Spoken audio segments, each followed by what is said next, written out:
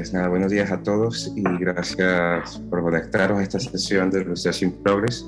Eh, bueno, como veis en la diapositiva, el título de esta presentación está relacionado con el proyecto FARM, Preventing Hate Against Refugees and Migrants. Y básicamente lo que vamos a mostrar aquí es resultados de eh, uno de los, de los Work Packages, de los grupos de trabajo de este proyecto financiado por la Comisión Europea, relacionadas con percepciones de los periodistas del sur de Europa sobre el discurso de odio hacia migrantes y refugiados. Sobre este proyecto llamado FARM, es uno de los proyectos financiados por la Comisión Europea que tenemos actualmente en el OCA y que tenemos el placer de coordinar desde Salamanca. Es un proyecto con dos países más, eh, con dos universidades más de fuera. Por un lado, a Grecia con la Universidad Aristotélica de Salónica y por el otro lado, Italia con la Universidad de Milán. Y en este proyecto, eh, que ya estamos básicamente finalizando, tenemos cinco grupos de trabajo y en el caso de hoy vamos a estar centrados en el grupo de trabajo 4 titulado Entender y contrarrestar el discurso de odio con la ayuda de periodistas. Es decir, como veis, es un grupo dedicado al trabajo con periodistas en el marco del discurso de odio contra migrantes y refugiados. Simplemente como una contextualización muy breve, sabéis que bueno, el discurso de odio es un campo que se estudia o que estudiamos desde la comunicación porque eh, se basa en un tipo de contenido radical que perjudica a, las sociedades democráticas, que se propaga rápidamente a través de redes sociales y que intenta menospreciar o vulnerar los derechos de, eh, sobre todo de grupos vulnerables. Hay Hemos trabajado el discurso de odio dirigido hacia diferentes grupos, pero en el caso de migrantes y refugiados son el principal grupo hacia el cual se suele dirigir este tipo de discursos. En este grupo de trabajo hemos tenido varios puntos, de, o varios objetivos. Los dos primeros están relacionados con trabajo de campo, que son los que vamos a mostrar hoy. En principio, bueno, la recolección de entrevistas de corte cualitativo y eh, en primer lugar, y en segundo lugar, la de entrevistas. Pero todo esto venía acompañado, viene acompañado de también una serie de tareas de intervención, eh, específicamente de talleres con los propios periodistas y también, bueno, por supuesto, evaluación de esos talleres y producción de noticias basadas en datos para eh, contrarrestar los efectos del discurso de odio si bien son dos técnicas que intentan abordar a los periodistas, en primer lugar, las entrevistas intentan o intentamos, con ellas intentamos profundizar el fenómeno, son cualitativas, pero utilizamos también para el análisis técnicas computarizadas para hallar clústeres de información dentro de los contenidos de, de, las respuestas de los periodistas. Por otro lado, en cambio, las encuestas permiten una visión más general, más cuantificable con los periodistas y ambas, en cualquier caso, no, creemos que permiten detectar las deficiencias que luego trabajamos en los propios talleres de datos en, el campo de la cobertura informativa o en el campo eh, del tratamiento de información sobre migración que hacen los periodistas. Vale, Carlos, pues muchas gracias. Tomo yo la palabra para abordar las entrevistas, luego más profundizará en las encuestas.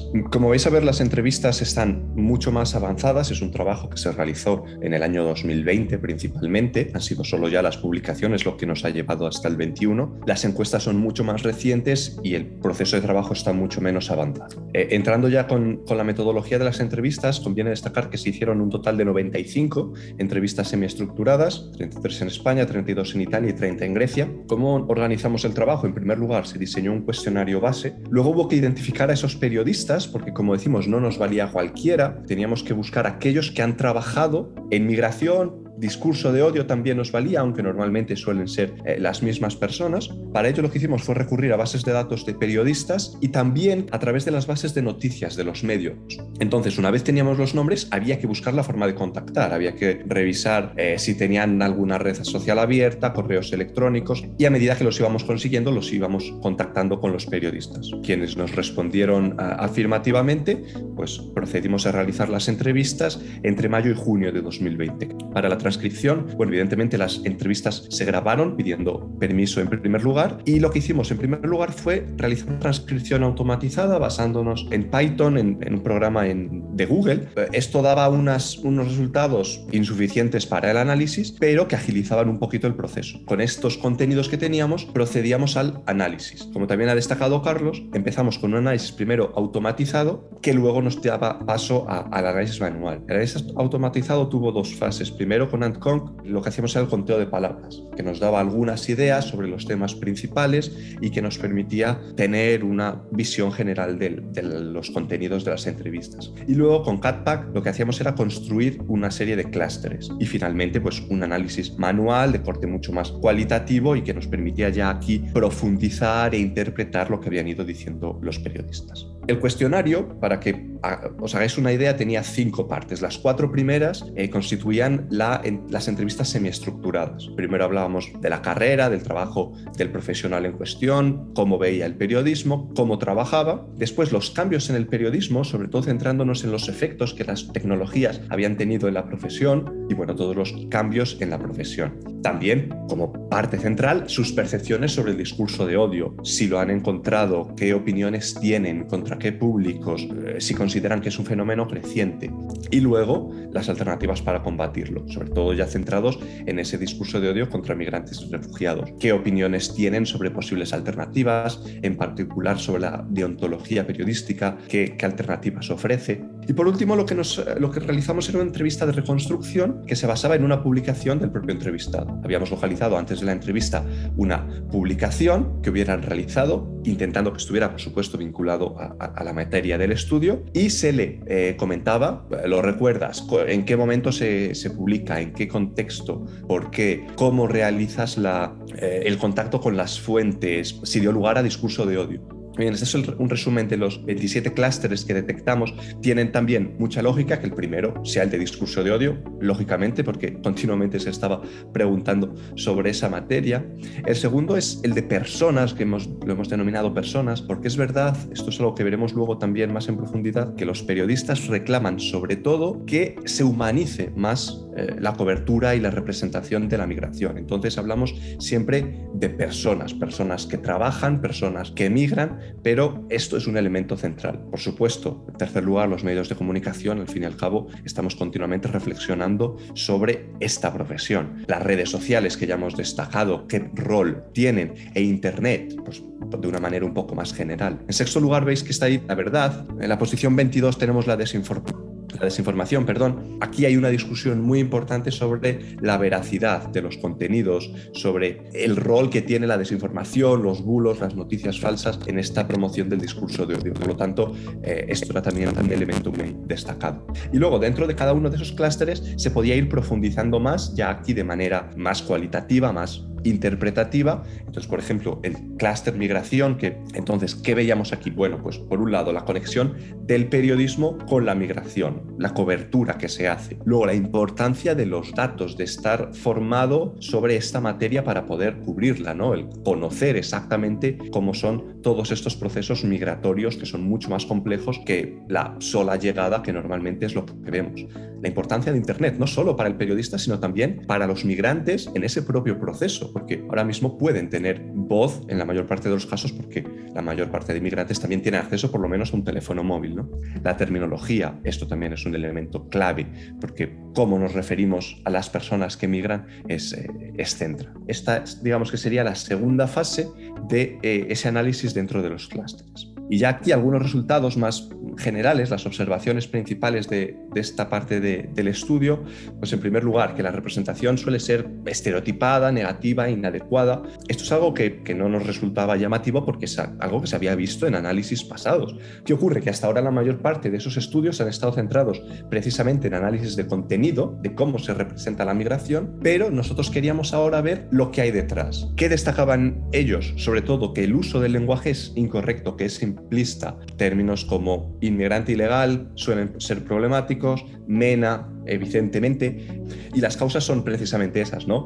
Eh, la precariedad del sector que hemos visto en muchas, en muchas ocasiones, la necesidad de inmediatez indiscutible, eh, la falta de formación también se destacaba muchas veces. Entonces, todo esto, aunque sea indirecto, acaba dando lugar a esa representación inadecuada que a su vez puede dar lugar a ese discurso de odio. Luego, la promoción del odio sí que se destaca claramente que está relacionada con el uso de noticias falsas, de desinformación. Inmediatamente cuando se hablaba de discurso de odio, la mención a las noticias falsas, a los bulos, era muy frecuente. Cada vez que hablabas de discurso de odio se asociaba con este problema, entonces, bueno, vemos que evidentemente son dos realidades que están ah, estrechamente interconectadas.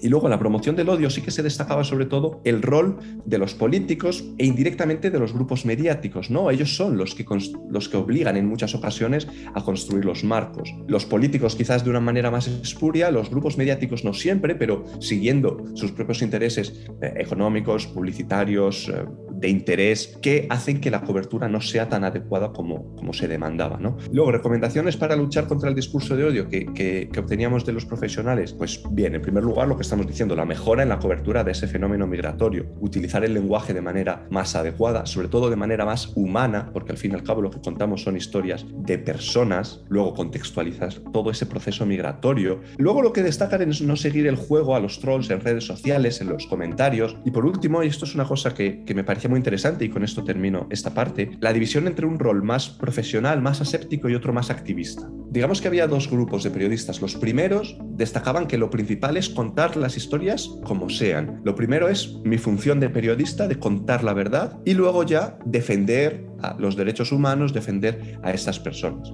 Había otro grupo que no. En primer lugar está defender los derechos humanos de estas personas y luego está ya mi rol de periodista.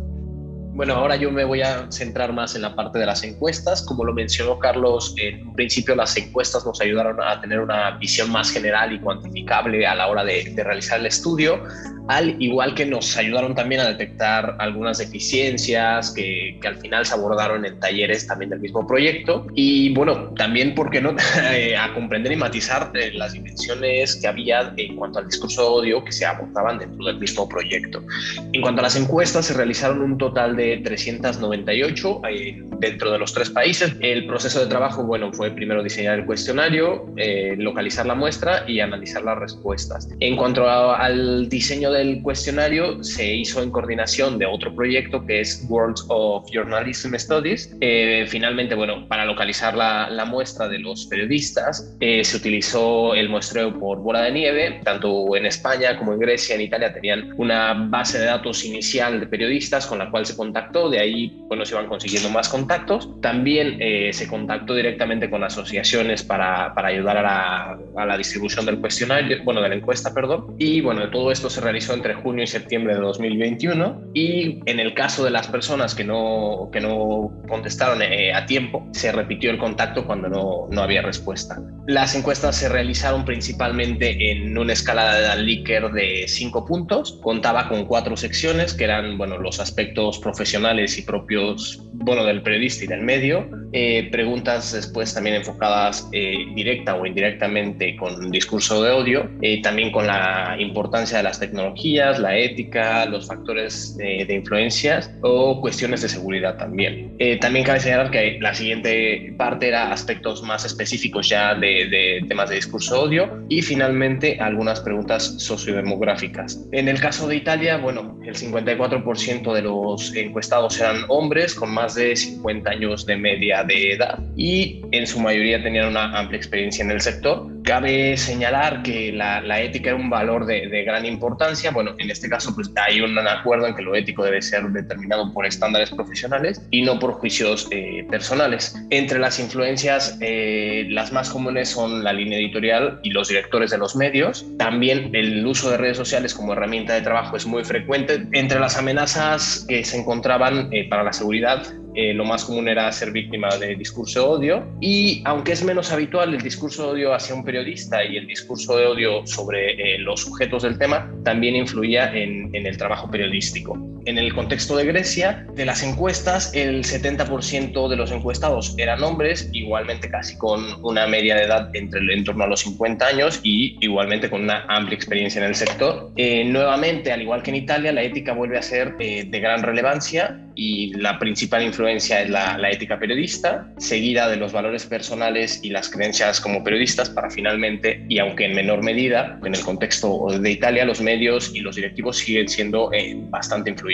En el tema de redes sociales vuelve a ser una herramienta eh, muy frecuente en el trabajo y hablando nuevamente de las amenazas en el trabajo, haber sido víctimas de discurso odio era la, más frecuente. Hablando de temas que influyen en el trabajo periodístico, el discurso odio hacia el profesional y hacia los sujetos del tema eran eh, de lo más importante. También cabe señalar que el discurso odio está presente principalmente en las redes sociales, desde este punto.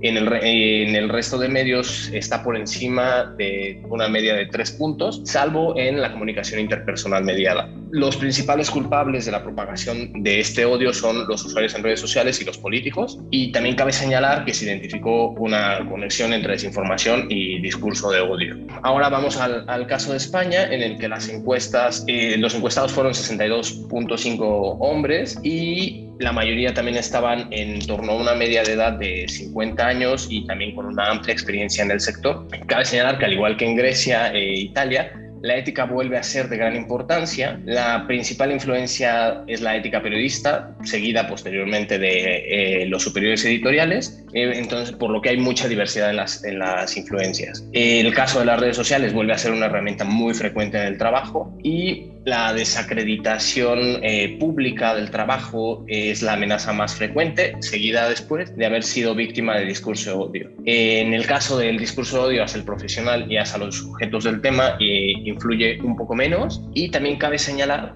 que el discurso de odio está presente principalmente en redes sociales Twitter, Facebook, eh, WhatsApp y también el resto de medios están eh, por encima de una media de dos puntos y por debajo en este caso de 3.5, eh, salvo en el caso nuevamente de la comunicación interpersonal mediada. En el caso finalmente de los usuarios de redes sociales y los políticos son los que se consideran como los más culpables de la propagación del odio, al igual también que los grupos radicales. El racismo y la xenofobia son el tipo de odio más importante, seguido del de la ideología y al igual que en Grecia se identifica una conexión eh, entre la desinformación y el discurso de odio. Lo que extraemos eh, de manera clara es que la relevancia del discurso de odio es evidente, no nos sorprende y lo íbamos buscando, pero eh, lo podemos confirmar. ¿no? quizás en ocasiones, y esto sí puede ser más llamativo, eh, ese discurso de odio se manifiesta, se manifiesta de una forma menos esperada, pues como destacaba Max, ¿no? coartando el trabajo de los periodistas que consideran la presencia de potencial discurso de odio como una amenaza. Em, eso quizás no es el tipo de odio que estamos buscando o al que nos referimos normalmente, pero es, eh, es también una realidad que tenemos que tener presente. Luego, no obstante, es cierto que el, que el, más frecuentemente observado es ese discurso que se dirige hacia inmigrantes. Desde luego, toda forma de discurso de odio hacia un grupo vulnerable es preocupante, pero este, precisamente por ser el más frecuente y por la particular vulnerabilidad de, de las personas migrantes, es el que prestamos mayor atención. En la, en la difusión de estos contenidos eh, se destaca la importancia de los políticos y de los ciudadanos anónimos, ¿no? Todo el mundo está compartiendo. Entonces, en este sentido, no solo es necesario lo que estamos trabajando aquí con los periodistas. Sí, ellos desde sus plataformas, eh, como expertos y como referencias de comunicación, eh, son muy necesarios, su participación es esencial, pero no es en ningún caso suficiente. Ya hemos destacado una vez más los inmigrantes como víctimas del odio y esa también incuestionable conexión entre el discurso de odio y la desinformación como dos fenómenos inseparables. Vemos también claramente que los medios influyen en gran medida en la forma en la que trabajan eh, los periodistas y en la forma que cubren un tema. La ética que ha destacado Max en alguna ocasión está siempre presente y es un elemento muy importante al que intentan prestar siempre eh, mucha atención los periodistas y luego volver a insistir en esa importancia de las redes sociales, que para los, periodistas son más una herramienta de búsqueda y de contacto que de promoción, destacan mucho su utilidad, pero tienen unos riesgos, ¿no? Eh, y, entre esos riesgos es que son el principal escenario de difusión del odio. Por lo tanto, eh, actuar sobre o prestar atención a, este tipo de plataformas es muy necesario. Vamos ya con las publicaciones que, que ha dado lugar. Como os decía al principio, el trabajo de las entrevistas ya ha dado muchos frutos, es un trabajo de 2020, el de las encuestas está todavía empezando ahora. Em, lo principal que podemos destacar del, del trabajo de las entrevistas es, es, dos artículos, el primero de ellos en la izquierda, en estudios sobre el mensaje periodístico, centrado en las entrevistas españolas, y a la derecha arriba, en la revista Journalism Practice, eh, se hizo un estudio, aquí sí muy complejo, y aquí ya estamos presentes las personas de, que trabajamos eh, eh, un poco más en España, y también los equipos de Grecia y de Italia, porque esta es la publicación principal de la primera, ah, de la tarea de, las entrevistas. ¿no? También va a estar presente en el capítulo en el libro de Farmen en Lexington Books, que aquí ya dialogará esta parte de las entrevistas con la parte de el discurso de odio que se ha ido detectando en el World Package 2. Entonces vamos a ver si, por ejemplo, lo que nos destacan los periodistas están presentes en ese discurso de odio que hemos detectado o no. Y luego la encuesta está ya preparándose un artículo para enviar a Politics and Governance, una revista que tiene un monográfico sobre el tema, que vamos a enviar en principio un artículo bastante completo o lo más completo posible de, de las encuestas. Estas encuestas, no obstante, tienen algunas limitaciones que queríamos también destacar. También lo tienen, por supuesto, las, las entrevistas. En primer lugar, como ya destaqué, que se realizaron por videoconferencia en un contexto muy complejo. Y luego también es cierto que trabajamos con traducciones, sobre todo cuando trabajábamos en el artículo eh, grande para Journalism Practice, teníamos que trabajar con traducciones en inglés. Entonces, la traducción puede suponer una pérdida en una interpretación, en, no consigues capturar la esencia quizás en algunas de las expresiones. Y luego, dentro de las encuestas, en primer lugar, el proceso se hizo para coincidir con Walls of Journalism Study en los tres países. La distribución se va a hacer de manera conjunta. Esto, pues, a raíz de las limitaciones eh, de la pandemia y de muchas otras cuestiones, no se pudo hacer, solo en Italia. Por lo tanto, nos vimos con cierta premura en los últimos meses con la necesidad de hacer las distribuciones en España y Grecia, lo que nos limitó mucho porque tuvimos que hacerlo en un tiempo limitado porque teníamos que entregar el, el informe a la Unión Europea. Esto además se nos juntó con una menor colaboración de lo, de lo que esperábamos, tanto por parte de los periodistas como de las asociaciones. Luego además esto se suma al hecho de que en Italia teníamos un cuestionario más breve. Eh, Italia sí que pudo coincidir con la distribución en Worlds of Journalism Study, pero eh, las preguntas centradas específicamente en el discurso de odio son mucho más reducidas, porque lógicamente es una encuesta muy extensa y se podían meter algunas preguntas, pero no todas las que nos hubiera gustado. La encuesta, lo principal que nos queda es el trabajo de análisis, la comparación por países, que en principio tiene que ser lo más interesante, y también comparar con las percepciones ciudadanas que tenemos de una encuesta que ya presenté en, en un RIP el año pasado. Entre las entrevistas probablemente lo único que queda pendiente es profundizar un poco más en los datos de Italia y de Grecia, que son los menos explotados, como visteis en, en el caso español, ya sí que hemos producido mucho más contenido. Y en el conjunto de ambas, pues evidentemente articularlo con el resto del proyecto. Y nada, muchísimas gracias por la atención.